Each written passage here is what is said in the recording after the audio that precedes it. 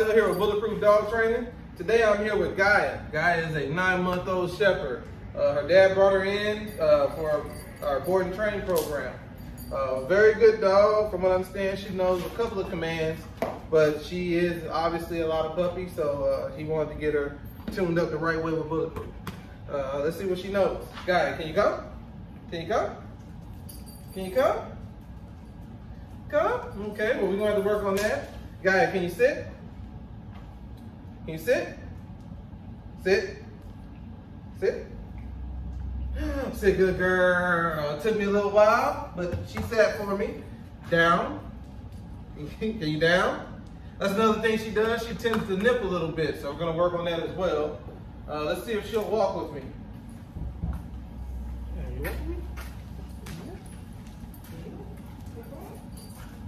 Okay. She's not too horrible. She's doing her own thing, but she's not an extreme puller as of right now. Um, y'all follow us on our social media platforms, watch our journey and see how Gaia turns into a bulletproof dog.